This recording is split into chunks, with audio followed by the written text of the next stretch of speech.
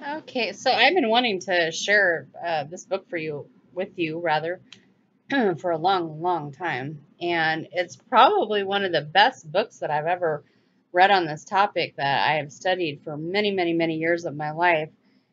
Uh, the author, I don't know if the author actually is born again, but he's taken this you know, terrific amount of information that's out there and compiled it in this book. And this book actually is one of the best books I have ever read on the topic. And I'm very familiar with the feast, very familiar. And then he has another book. and I'm not going to talk about that book today, but it is actually one of the worst books that I've ever read on the Bride of Christ. The worst uh, conversely so. So that's kind of funny. But anyhow, for this particular book, for what uh, he has to say here, I really like the seven festivals of the Messiah. Very, very, very good. And I want to talk about Passover. And I don't know if dear Eddie gets it or not. He's not a Jew, he's a Gentile. But the seven festivals of the Messiah, irregardless, he does a good job explaining this part. One of the most fascinating and probably and yet probably one of the least understood topics of the Bible is that of the feasts found in Leviticus 23. This book, step by step, examines each festival from the foundational truths of God wants us to learn through them. These festivals prophetically speak of the first and second comings of Jesus or Yeshua as well as provide tremendous insight into the Christian life and our personal relationship with God. This book will even answer the Jews' question Is Jesus, Yeshua, the long awaited Messiah, Mashiach of Israel? As you study the foundational truths of the festival of the Lord revealed in this powerful Bible reference volume, not only will you and your ministry grow spiritually, but your personal walk with God will blossom to a new dimension as well. Well, I mean, you'll just understand this, the scripture the festivals of the Lord found in the 23rd chapter of the book of Leviticus are among the most fascinating and revealing topics of study and inspiration in the entire Bible. Yet, at the same time, they are probably the least understood. This book will lead you step by step through the festivals. Believers who are lovers of God's Word will discover that the festivals or feasts of the Lord are not only historical events, but also prophetic. They speak in much detail about the first and second coming of the Mashiach in addition, the festivals give us tremendous insight into living the life that God desires for his people. And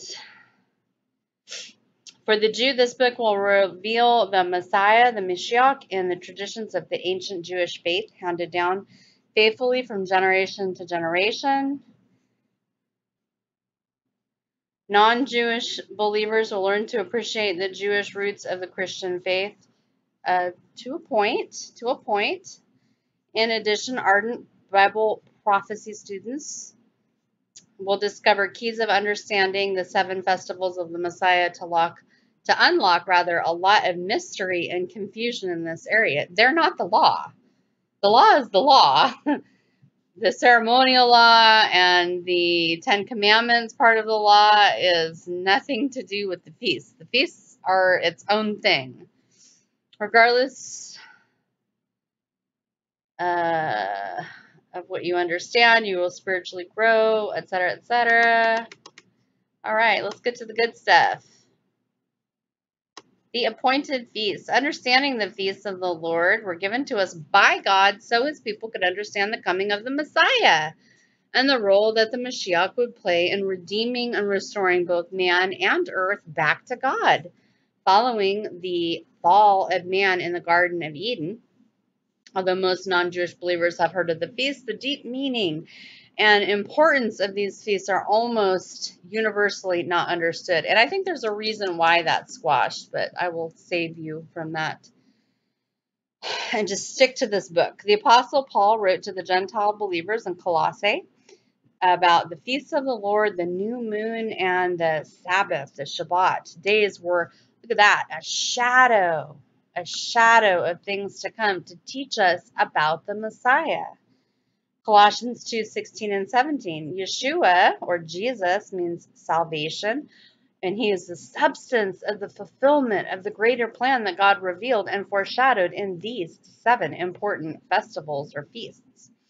Um, to all the readers who are familiar with the feast, you will be most fascinated to discover that the first four of the feasts are Passover, unleavened bread, first fruits, Pentecost, and these primarily teach about the significant events in the first coming of the Mashiach, while these events were also an important part of God's redemption of mankind. In addition, you'll discover the last three uh, Feast of Trumpets, or Rosh Hashanah is what they modern day people call it, the Day of Atonement, Yom Kippur, and the Feast of Tabernacles, Sukkot. Uh, give a fascinating insight concerning important events that surround the second coming of the Messiah.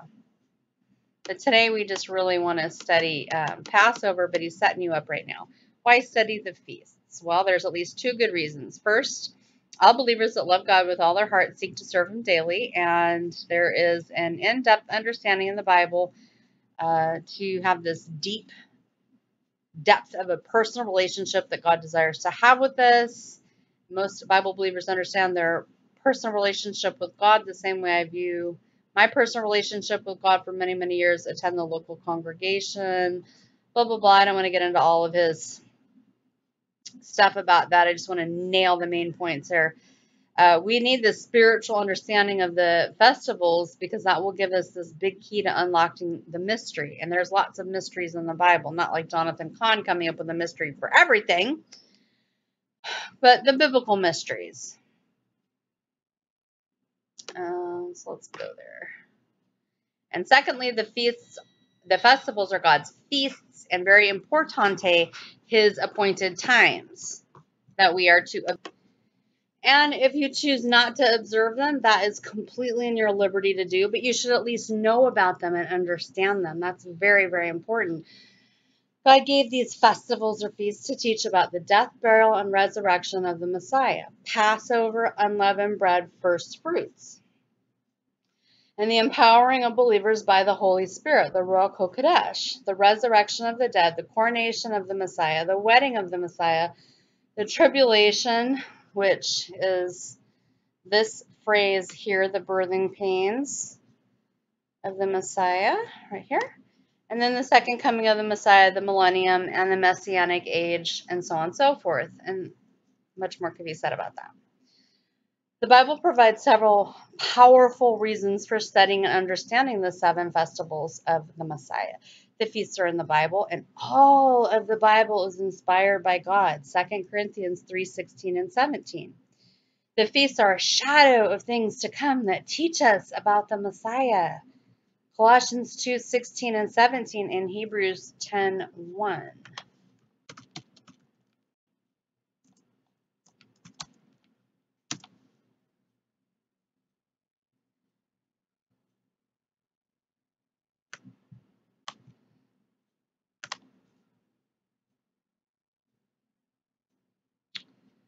For the law having a shadow of good things to come, this is the law, and not the very image of those things, can never, with those sacrifices which they are offered year by year, continually make comers therefore unto perfect. Meaning, in this particular verse, you will never be able to keep the Ten Commands because the moment that you come into the world and you start making choices, you've already broken them and they require absolute perfection and they are pointing towards the Messiah. The Messiah comes and he is the one that keeps them for you and you get his imputed righteousness.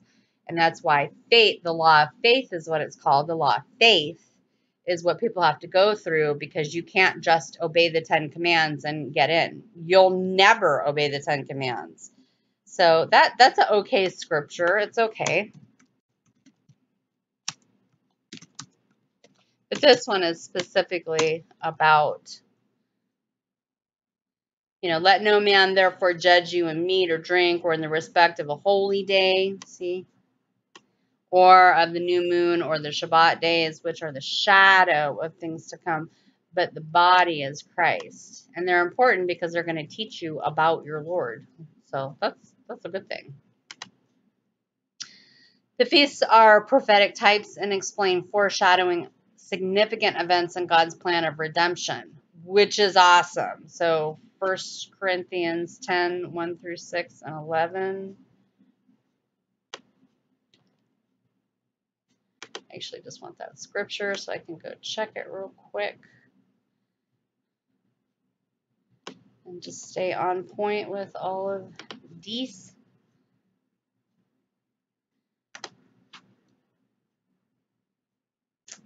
Moreover, brethren, I would not that you should be ignorant how our forefathers were under the cloud and all passed through the sea. All were baptized into Moses in the cloud and the sea. All did eat the same spiritual meat. All did drink the same spiritual drink. For they drank of that spiritual rock that followed them, and that rock was Christ. Good scripture. And now these were our examples to the intent that we should not lust after evil things as they also lusted. I think I jumped a verse. Uh, but with many of them God was not well pleased, for they were overthrown in the wilderness. Mm-hmm. And we want, hold on, where's our verse 10? I think we needed a verse 10.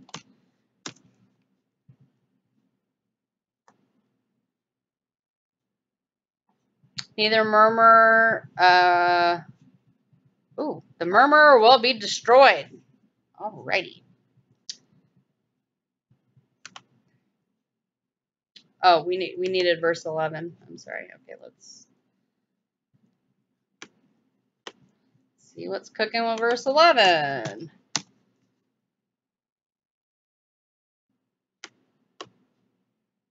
Now all these things happen unto them for examples. And they are all written for our admonition upon who the ends of the earth are come. Yep, that's coming. God gave the feast so we could learn and understand God's plan of redemption for the world and our personal relationship to Him. The feasts, as a part of the Torah, which means instruction, are the schoolmaster, the schoolmaster or the tutor that leads us to the Mashiach. Yes. Absolutely. Galatians 3 24. I think everybody should read Galatians 3 and 4 like every day of their life, in my humble opinion. The feast will point to the Messiah and God's plan for the world through him. And Psalm 46 through 8 and Hebrews 10 7. Um, I do want to see this psalm really quick.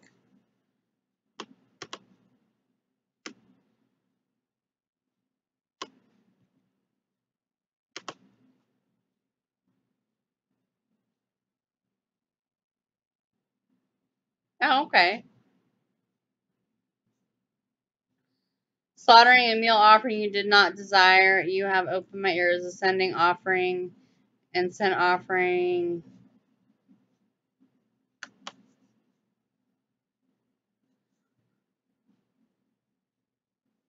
Oh, okay.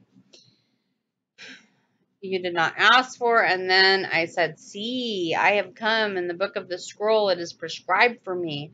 I have delighted to do your pleasure, oh my Elohim, and your Torah is within my heart. So, in other words, Christ came to fulfill what the Lord said. You know, because the, the Bible is written about him, is the point. He told the Pharisees, you you look in the scriptures, uh, but you don't, you, um, I forget exactly how he phrases it his whole point is that they're missing the greater point that the scriptures are all pointing to him in the end of the day at the end of the day. Uh, and then hebrews 10 7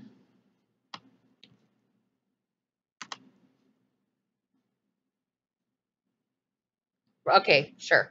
And this is where paul uh, quotes it then or whoever the author of hebrews is i think it was paul. Here i am and it is written about me in the scroll. I have come to do your will my god so, yes, he's quoting from that Psalm 40. Very nice.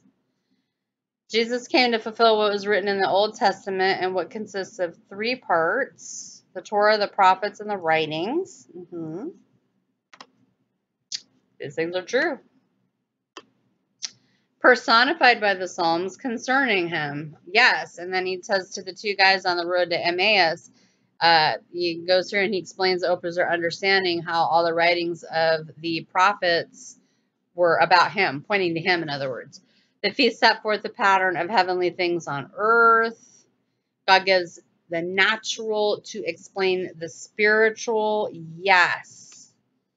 So 1 Corinthians 15, 46 and 47, that's a really important thing to understand, construct to understand. The spiritual did not come first, but the natural, and after that the spiritual. And then he's talking about the, the two Adams and um,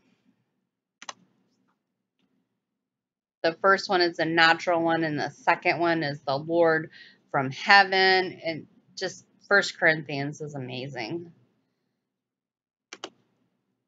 By studying the natural, we can understand the spiritual.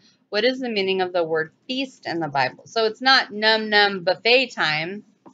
Two important Hebrew words appear in Leviticus chapter 23, and each word is translated as feast in English. In verse 2, the word for feast is the Hebrew word, and this is really important, moed.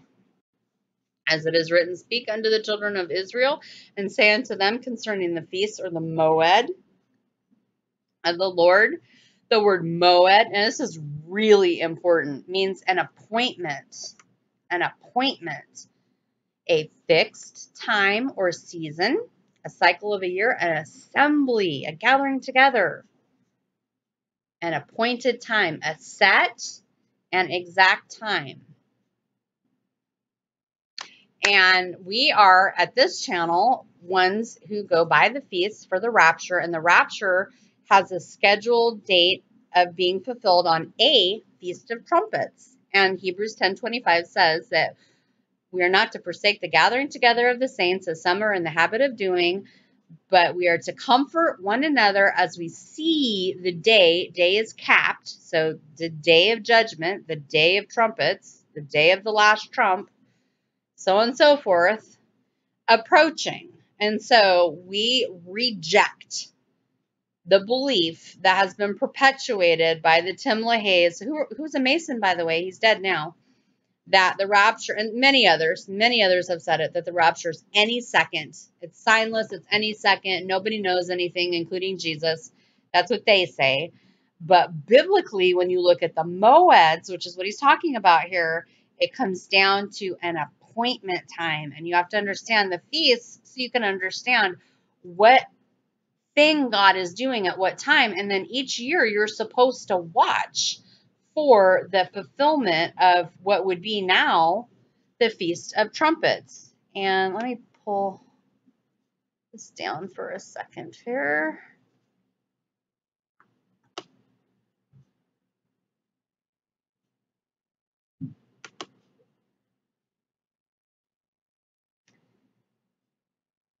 Let me get this picture for you. We talk about this a lot on this channel. We really go by a Hebrew perspective, but through the renewed covenant, no funny business, faith through grace, period, end of story. Let me get that for you. Not a bad picture. So the spring ones, Passover is death, unleavened bread is burial. See the little tomb? See the cross, see the tomb? First fruits, he raises up out of the tomb into his new body. That's your resurrection. You have 50 days later, Pentecost, the indwelling and infilling of the church, and it's been going ever since then. You have the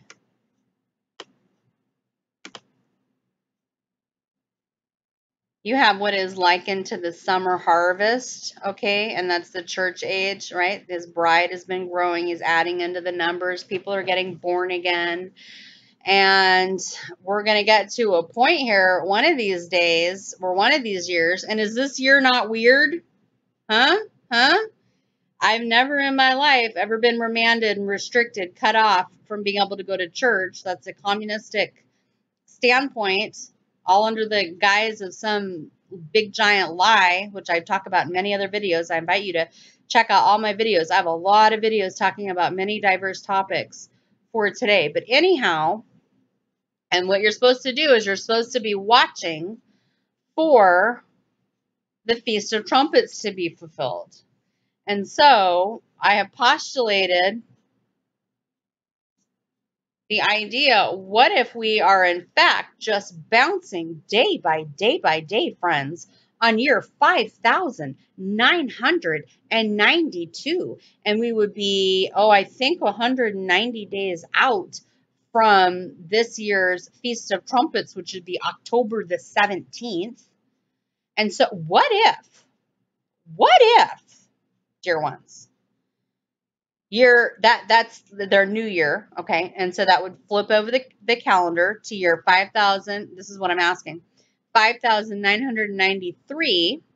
And then you have the seven years between trumpets and atonement, Jacob's time of trouble, Daniel's 70th week, so on and so forth, right? Church, out of here, you get glorified. The damned uh, who didn't listen and, and, respond, the slaves and the uh, people who have religion but not rebirth in Jesus, they stay. They go through the tribulation. Some choose Christ, others do not and you have Christ coming back then and dealing with the Israelites that do come running to him. Beautiful. You have, you know, 5,993 plus 7, and then bam, 6,000 years. And the end of the curse. Hallelujah. Right? In wrestling, did you ever see the one guy tag out and the other guy tag team in? Have you seen that? I saw that when I was a kid. Well, that's kind of what you have happen. You have the kingdom of Lucifer that the fallen Adam, Adam had given to him. He mismanaged the 6,000 years, turned it into a hellhole. That last seven years being the worst of the worst, and we're obviously setting up for that.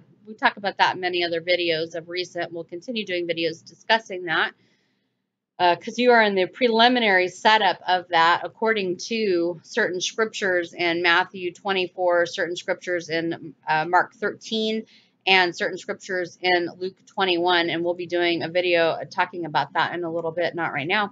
Uh, but anyhow, 6,000 years under the curse and the great trumpet. So if the last trumpet sounded here, the first trumpet was back here. First trumpet, last trumpet, great trumpet. Isaiah talks about the great trumpet. That's the kibosh on the curse. And you have a little bit of cleanup, and some mark takers get thrown into the pit, and some nations that are sheep nations get put into the the thousand years of peace and prosperity with the king, the return of the king for a thousand years. It's going to be wonderful. What if we are in fact 100 and I think it's 90 days out. Let me double check here before I tell you that. Hold on. Uh Yep, see, my computer's like, I totally know what you're going to go see. Okay, April. Hold on. Yeah. Oh, wow. It's the 10th already. That's crazy. That's crazy talk. Okay, fine. 190 days out. What if that is what's going on? Well, every year you're supposed to be watching and paying attention because it is a potentiality for him to fulfill that glorious feast. So that we do. Uh, and so these are the spring ones. Uh, Pentecost kind of gets counted into that. But you have this four month harvest, John 4 talks about, that is likened to the church age. And we very well could be walking up to Feast of Trumpets. And if people are going to be born again, they need to be born again before, before the Feast of Trumpets. Very important because he will be accepting people's rejection and then you're going to get the consequence, which is going to be the devil and his son. So, not good things. So, moeds matter. Moeds are muy importante.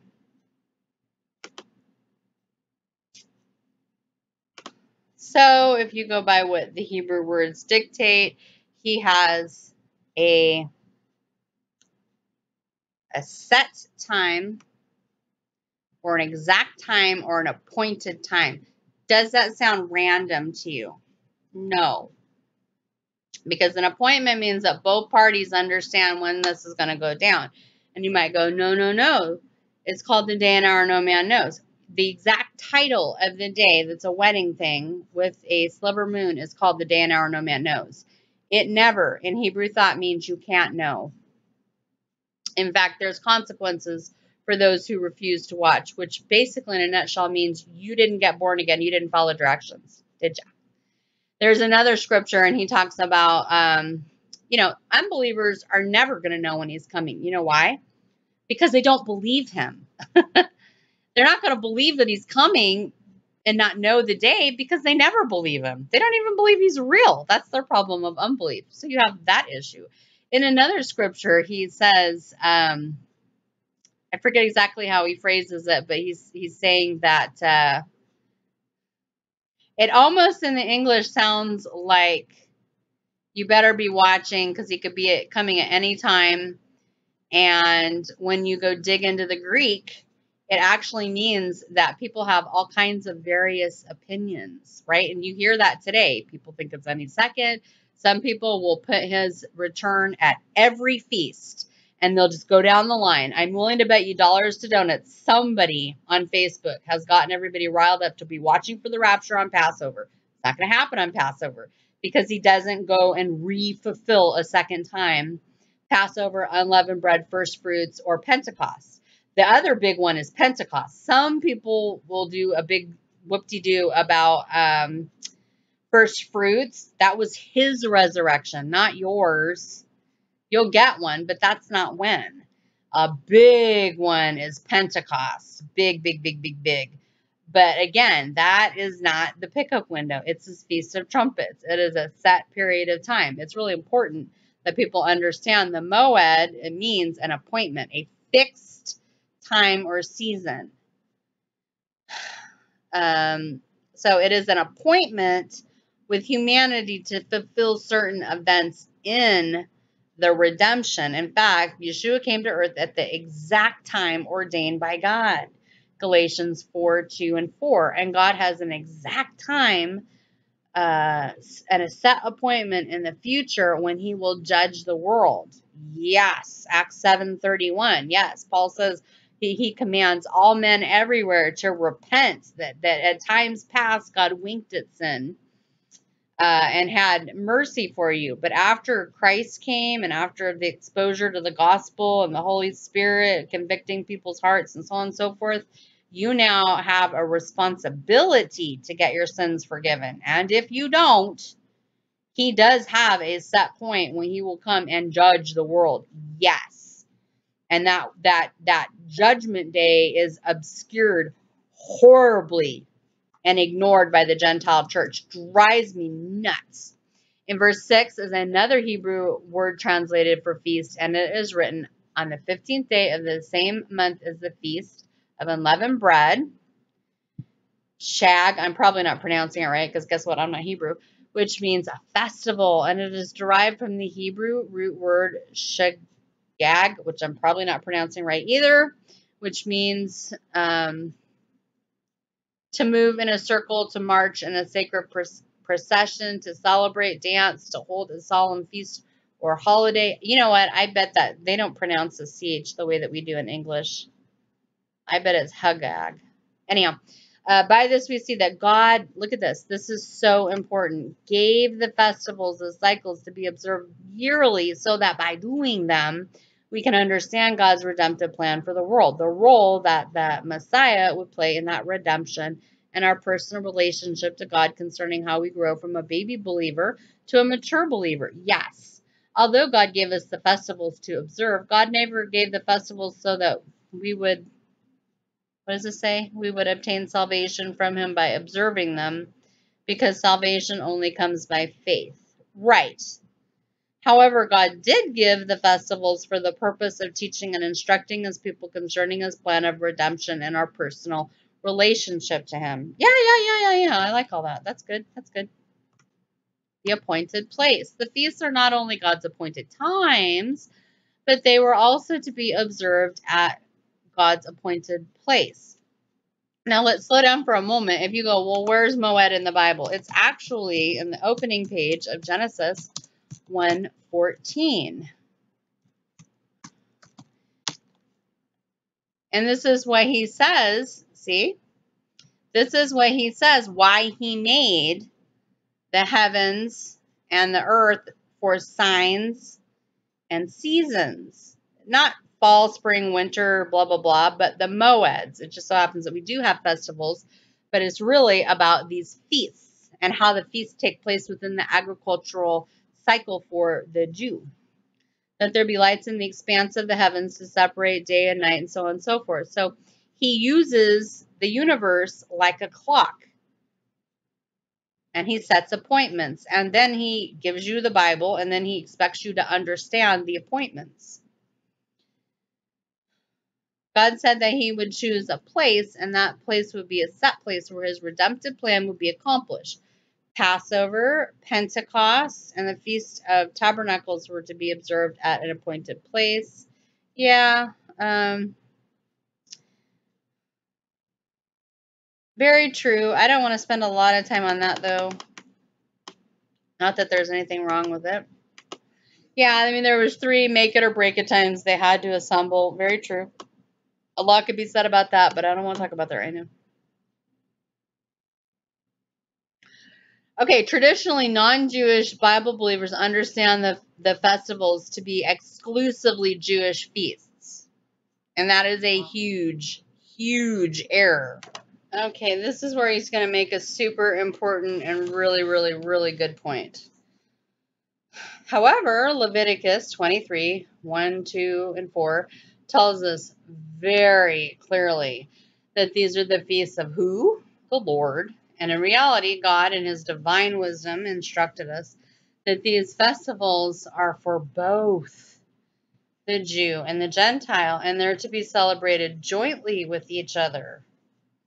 In Deuteronomy 16, 11, and 14, the word translated in English as the stranger is the Hebrew word for Gentile who has joined himself to the Jewish people. Remember, like Ruth, she was like, Well, I'm a Moabite, but I'm going to go get with Boaz, and we're going to have Obed, and Obed is going to have Jesse, and Jesse and his wife are going to have King David.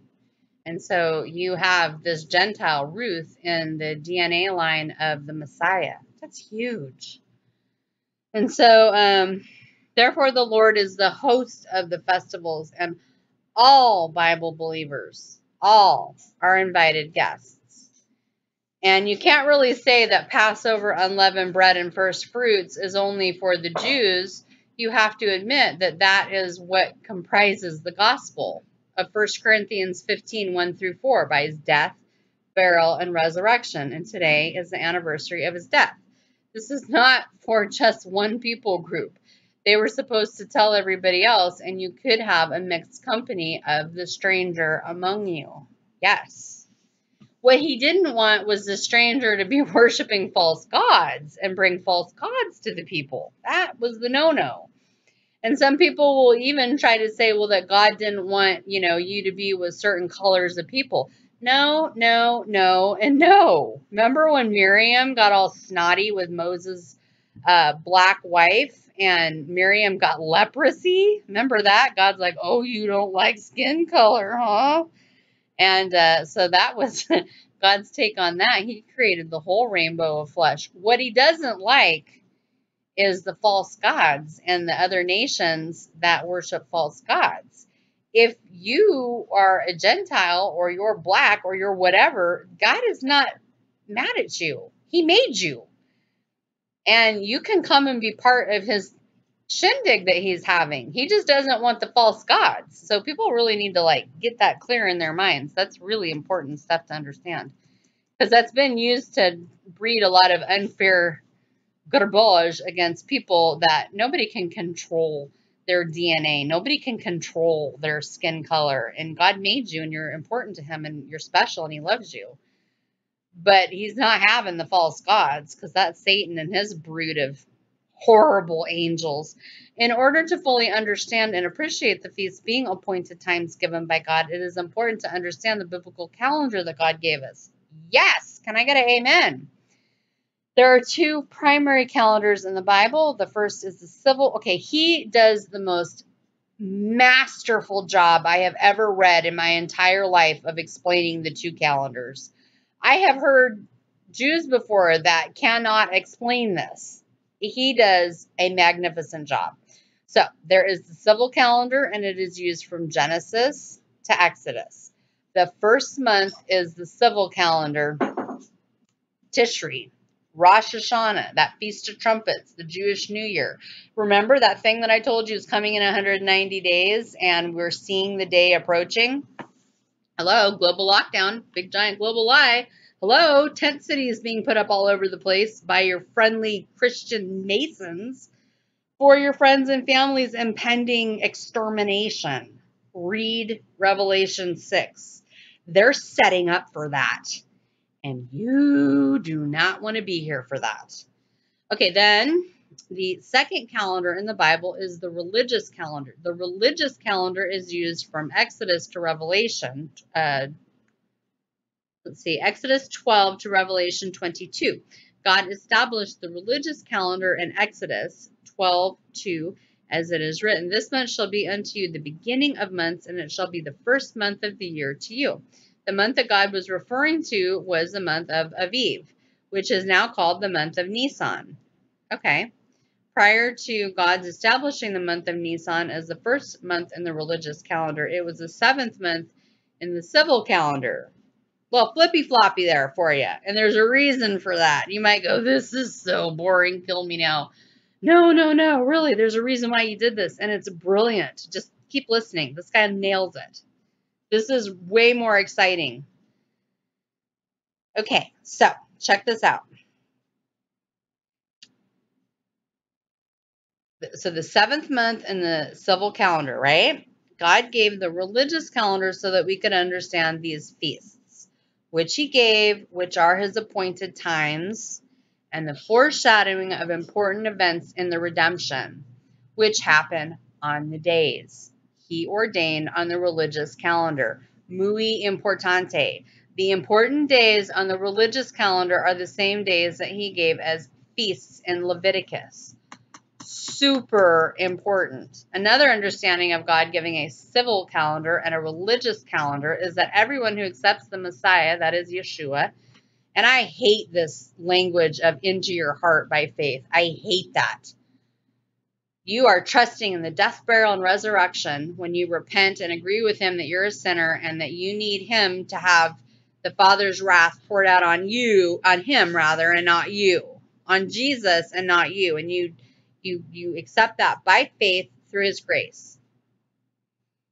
Anyhow, for those that do that, you experience what? Two birthdays. Mm-hmm two birthdays. So I have a physical birthday when I was born on this planet in February. And then I have a second birthday when I got born again in January. And I am waiting for Feast of Trumpets so that I can get my new body that goes along with that new birth. Just like Tishri 1, that's your Feast of Trumpets, that's their new year, is the first day of the civil calendar and Nisan 1 is the first day of the religious calendar. Everyone who gets reborn again in Christ has a physical, civil birthday when he or she was born into the world. So your flesh, slap your arm, your flesh, and a spiritual, religious birthday, the day he accepts what the Messiah did in his stead or her stead. The following chart illustrates both types of calendars showing the names of the months in the biblical calendar. I've never heard anybody in my entire life explain it the way that he just triple nailed it. And I have always heard people talk about the two calendars. I have always heard people try to cancel them out and get them to fight against each other. And he just explains it perfectly if you are in Christ, you have two birthdays. And the the religious one is based upon what you're doing with the feasts or what you're doing with the moed, what you're doing with the appointments. So if you showed up, so to speak, for the Passover, unleavened bread and first fruits, and you got born again, you got the Holy Spirit to go back inside you and resuscitate or resurrect or quicken or however you want to phrase that, your spirit, you now have a second birthday. You have a religious birthday. So I got born again in a cold January month. And I don't know what day it was because I was just a hot mess 15 times over. But the Lord was good to me. And it was like, uh, I don't know, a week or two before my my physical birthday. And I just I remember that I remember what happened that day. I was primed for a long time and just I hadn't been told the truth, but I was primed for a long, long, long time. And when I finally heard two people explain to me the gospel, I went, that's what I want. And it kind of went back to me at church my whole entire life, hearing about eternal life, eternal life, eternal life. And I always wanted eternal life. I just didn't know, I didn't understand because I was spiritually dead. And I was in darkness and sin. And I was just, when the spirit is dead, you just don't get it. But when the Holy Spirit comes along and you have, have the, you hear, you have the hearing of the word, and those two things kind of meet and kiss together, so to speak, and you understand, oh, I'm the sin he's going to punish. Ah. So I'm not a good person? No. So Jesus is the good person? Yes. So I'm going to go to hell to pay for my sins? Yes. Well, what can I do? Put them by faith, the law of faith, on to the sacrificial lamb, which is what he did today for us.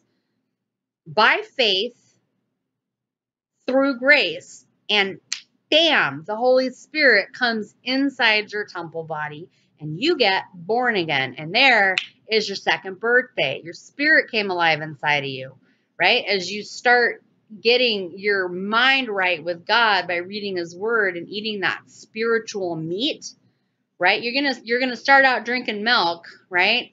And we're all at different places in our sanctification and some go quick and some go slow and some are in between as you're reading that Bible and you get hungry for that truth, hungry, hungry, hungry, and you're sucking that down, he starts teaching you the spiritual uh, realities of this world, and you start getting your soul or your heart fixed, right? So he's starting to repair you step by step. He triages you. First, it's that spirit. Oh, he's back alive again. Yay!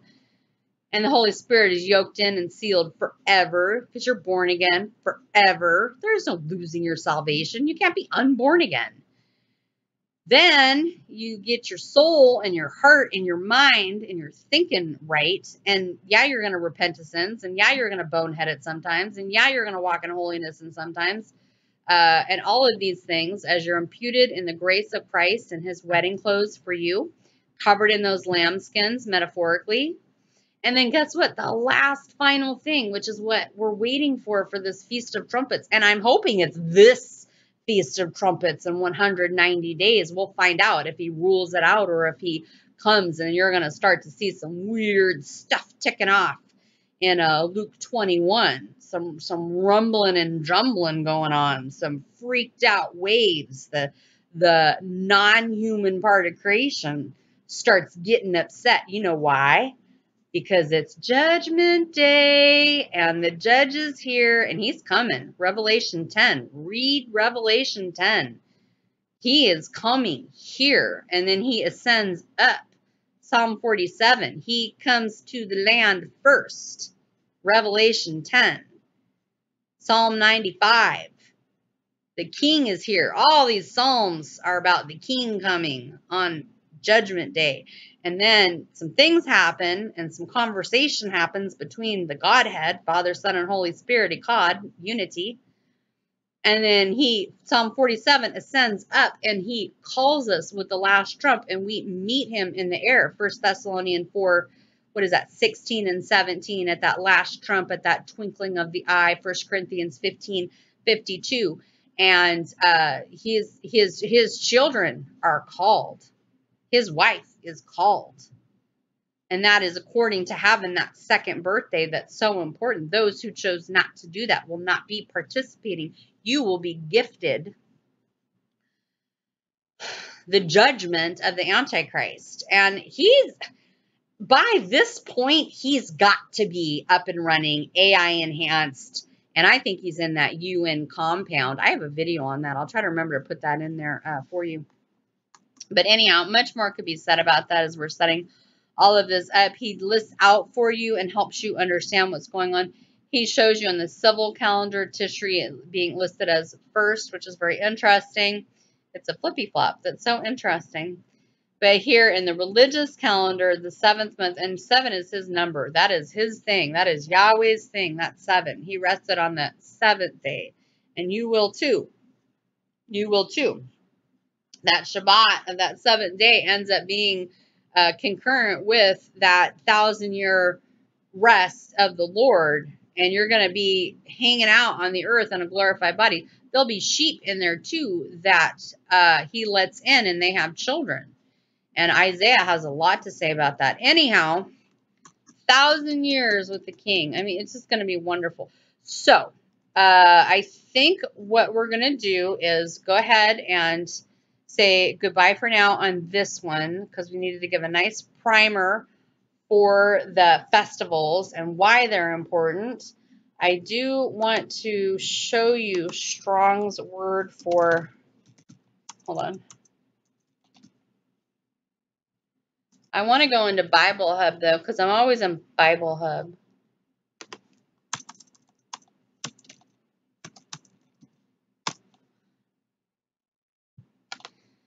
So I grew up in an English Bible reading it, but really until I get into the Hebrew and the Greek, I'm just not getting the full story.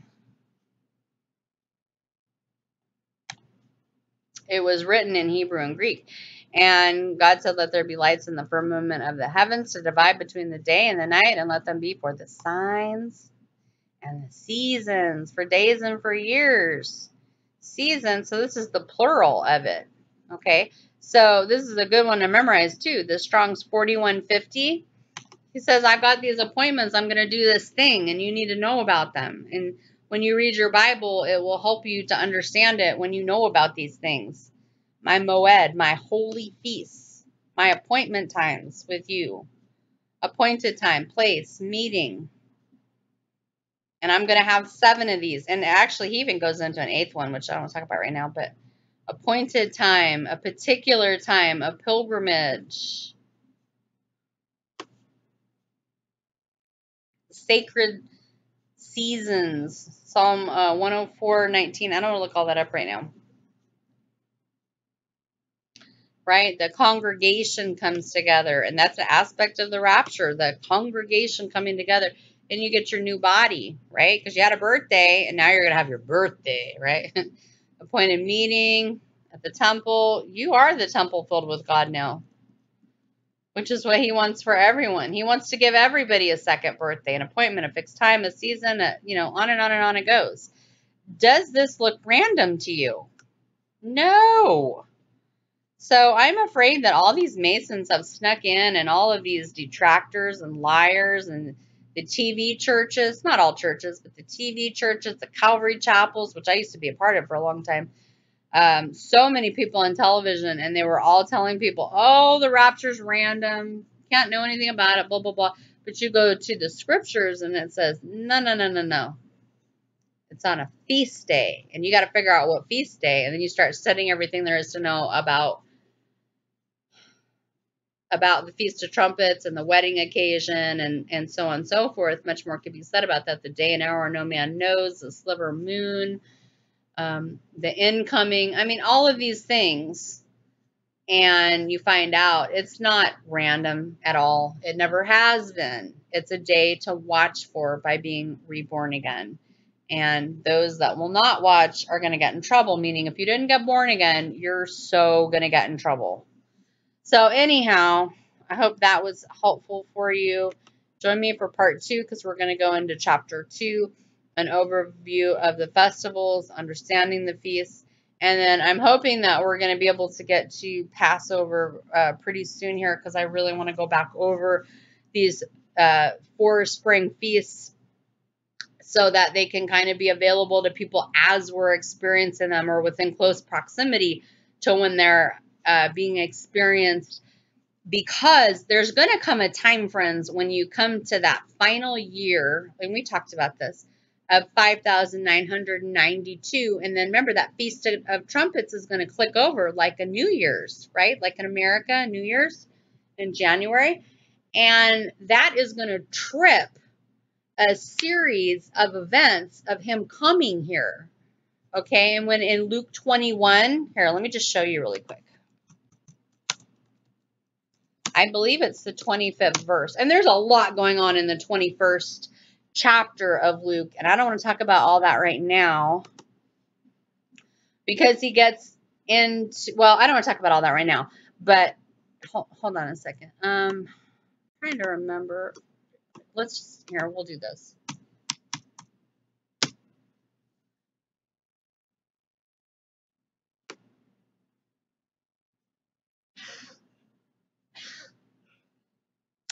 Okay, I wasn't going to do this, but I'm just going to put this in really, really, really quick. Okay, so, you know, his disciples are asking him about the temple, and Jesus is like, well, they're making comments about it, and Jesus is like, that thing is going to get demolished. Which for a Jew back in that time, you're like, what? Because the temple was a big deal. That that was your meeting place between God and man, right? Like that was a big deal but it got severely abused, taken advantage of by certain people, and so on and so forth. And so then they start asking questions. They're like, oh, when shall these things be?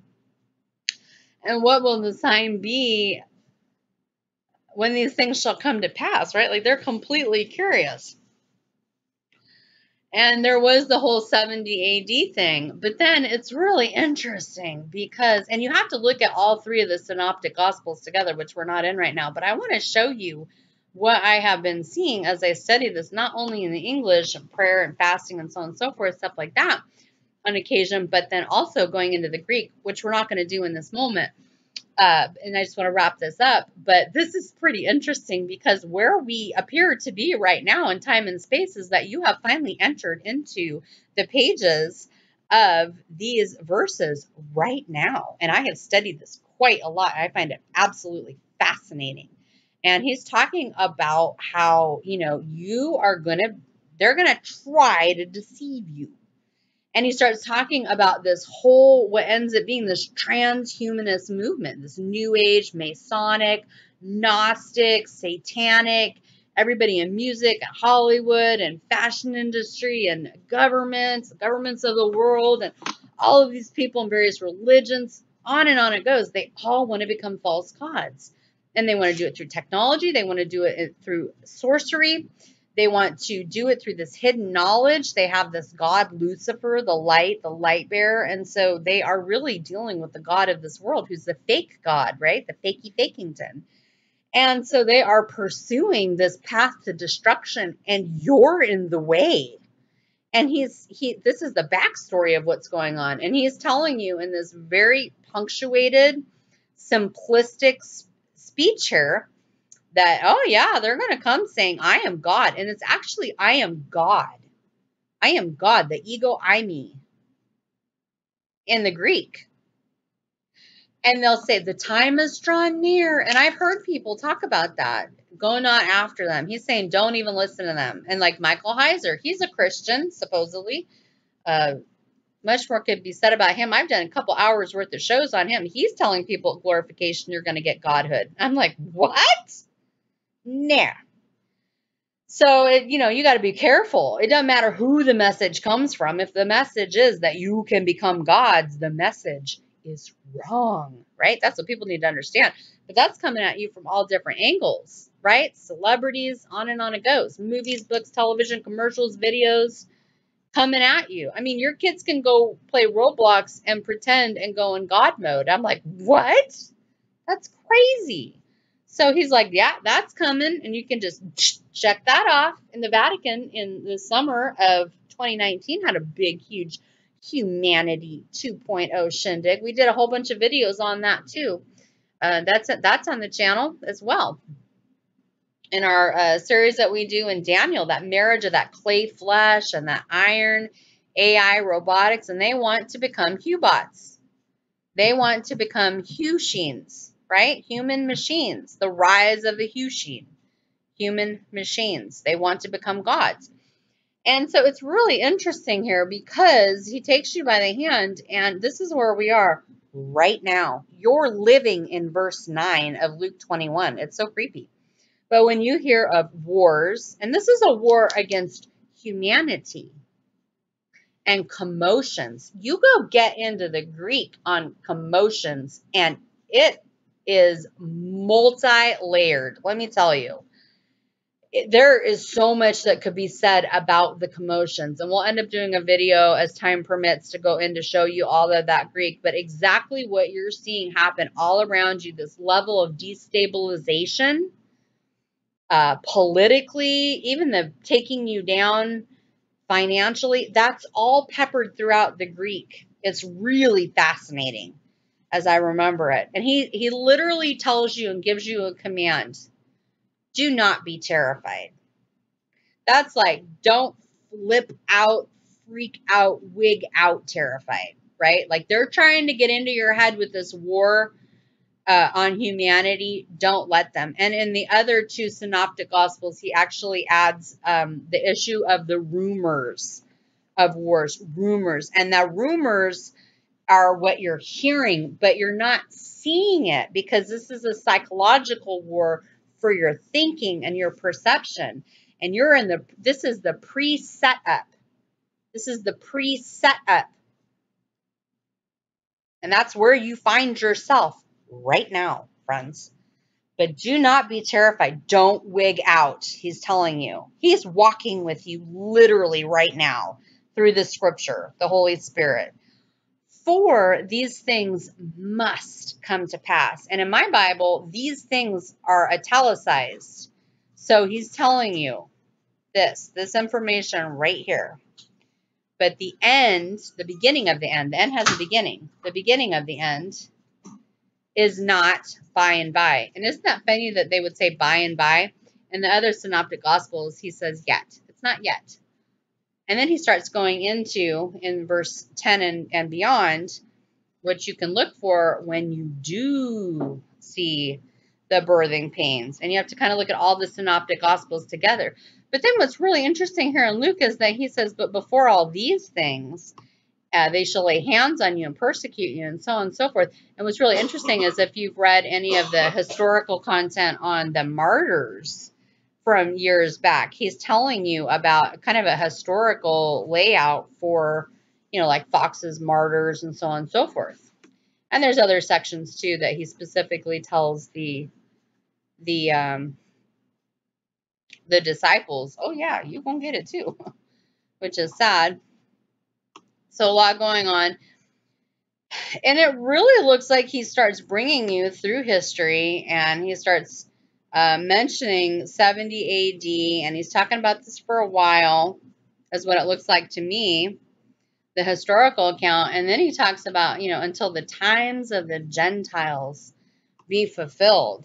And again, when you go back to that, the end of that harvest that we talked about, that's so important to understand. Let's pull this down right? See the four month harvest period, John 435, and we talked about how this is representative and, and runs concurrent with the church age. When you come to the end of that, then the clock flips over and you've got you've got trumpets. You've got the time of Jacob's trouble. Hello. And then he also I'm going to get way into this, but he also talks about in Revelation 10, he says, time shall be no more. And when you go study all the Greek on that and you just sit and meditate, pray, and meditate on the word, it's kind of like God is saying, okay, the time for any more opportunity in this, and I'm just going to say age of grace to keep it simple, is done. I am done. He's like drawing a line in the sand. I the Son of Man, in Revelation 10, am done. And he is formally telling you here and no farther. And much more could be said about that. But anyhow, you know, it's it's it's that metaphorical midnight when it's the ending of one hour and the starting of another and that's hour one day one of the seven years of judgment. It's a it's a transition in other words. But then what's really interesting is that he starts getting into in verse 25 this is the day of judgment. This is the deployment of revelation 12 3, 4, and 5. The, the signs and the sun and the moon and the stars, and upon the earth the distress of nations with perplexity and the sea and the waves roaring. There's a whole bunch of Psalms that talk about that as well. It's the day of judgment. He comes here and the sea is wigging out. And also, if wormwood is inbound, and that's one of the judgments, there could be a massive amount of um, influx of, I don't know, magnetic properties or whatever you want to call it. There's a lot that could be going on with that, but suffice it to say, when the creator comes and he's mad, the earth responds. Okay, that's that's the great takeaway. The earth is like ah. so even the non-human part of creation is like ah, really upset because he's upset. And the Holy Spirit's upset, the Father's upset, and the Son, Revelation 10, is really upset. So anyhow, there's Psalms that talk about this uh, perplexity and the sea and the waves roaring. The earth is just upset. The people are upset. Everything is upset. The Lord is upset. This is the day of judgment. And he talks about men's hearts failing them for fear, for looking upon those things which are coming on the earth. For the powers of heaven shall be shaken. What's coming? Well, you turn to Ezekiel and he's coming down on his chariot he has a chariot. It's his throne. And it's got the four living creatures. And you might go, I've never heard that before. Well, that's that's in Ezekiel. And that's we'll we'll we'll do videos talking about that another day too. But what is it that they're freaking out about? They see him coming. And then and then look, right here, verse 27, it's telling you as clear as day. And then they see the Son of Man coming in a cloud with power and great glory. Read Revelation 10 the Son of Man, the angel, and it's it's not the word angel exactly. Angel just means um, messenger. But the messenger of judgment, i.e., the Son of Man, is coming in a cloud. He's a rainbow on his head with power and great glory, and he's mad, which is not good. Now, who's he mad at? The unbeliever and the fake Christian. He's not mad at us. And then look, verse 28. This is the day of judgment. He's walking you through this. And when these things begin to come to pass, then look up, lift up your heads. Literally, he's telling you that thing on, on your neck, lift it up, look up. For your bodily redemption draweth nigh. What does that mean? It's your birthday where you get your new flesh. It's your Revelation 12:5, the birthing of the one new mankind, the many within, the heir. You're the heir. Read Galatians 3 and 4, it's all there. I don't really want to get into all of this right now because there's a lot going on with that. It's a big, long study in and of itself. So, for the sake of time, again, again, we're looking at the day of judgment. We're looking at the the people who are done gonna get it. They are gonna get it. And and why are why is he so mad? Idolatry. Oh, and the fact that they're going to try to kill his bride off and they're about ready to exterminate the population. Yeah, these things make him mad. Verse 34 he says, "So take heed to yourselves." That's like pay attention. Get this is what heed means in the Greek. Get this. Conceptually, get this. It's important lest any time your hearts be overcharged and surfeiting and drunkenness, the cares of this life, so that the day comes upon you unawares. What does that mean?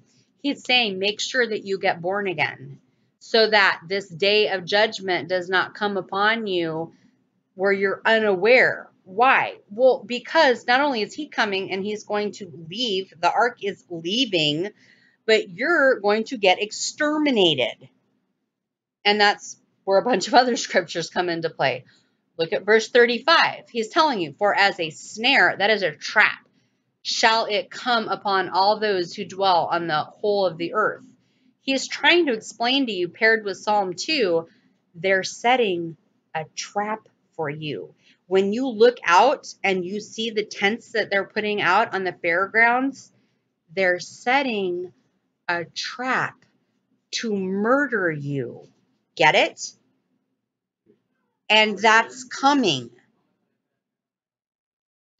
And him coming is a snare where he's going to leave them and Satan's going to come and Satan's going to double cross the double crossers, right? They all think they're funny because they're pulling one over on you where they're stealing trillions of dollars and doing all this funny business with your money. Uh, and God's like, oh no, I got your number, right? So he says here, look, watch, watch, therefore. This is get born again and then watch for what? The Feast of Trumpets. That's the next feast to be fulfilled. Watch therefore and pray always that you be accounted worthy to escape all these things that shall come to pass and to stand before the Son of Man. That's the Feast of Trumpets when you get born again. And you're going to stand before the Son of Man. Verse 37 And in the day that he was teaching in the temple at night, he went out and abode in the mount that is called the Mount of Olives.